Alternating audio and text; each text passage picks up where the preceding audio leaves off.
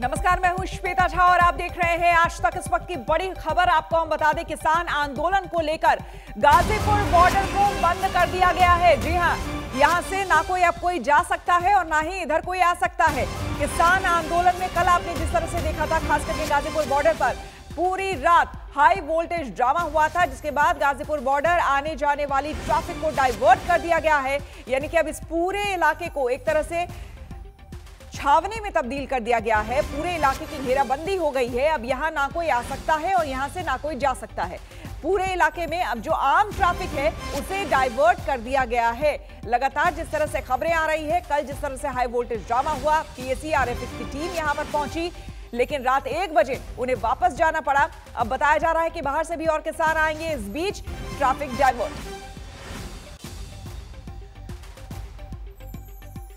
और अब वक्त हो